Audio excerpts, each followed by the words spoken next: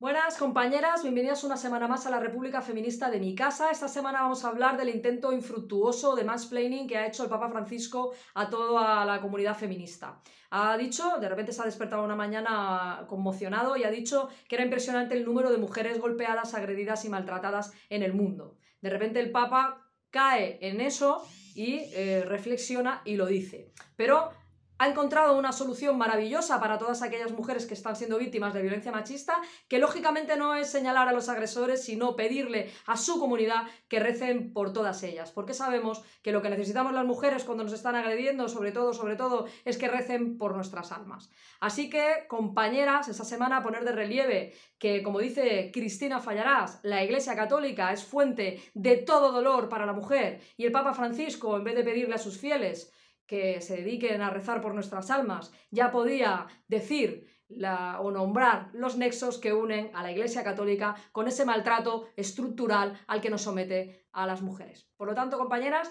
ni súbditas, ni esclavas, ni criadas, siempre juntas en la lucha y hermanadas, porque el Papa no nos cuente milongas y señale la violencia que genera, sostiene y produce su Iglesia. Hasta la semana que viene, infieles.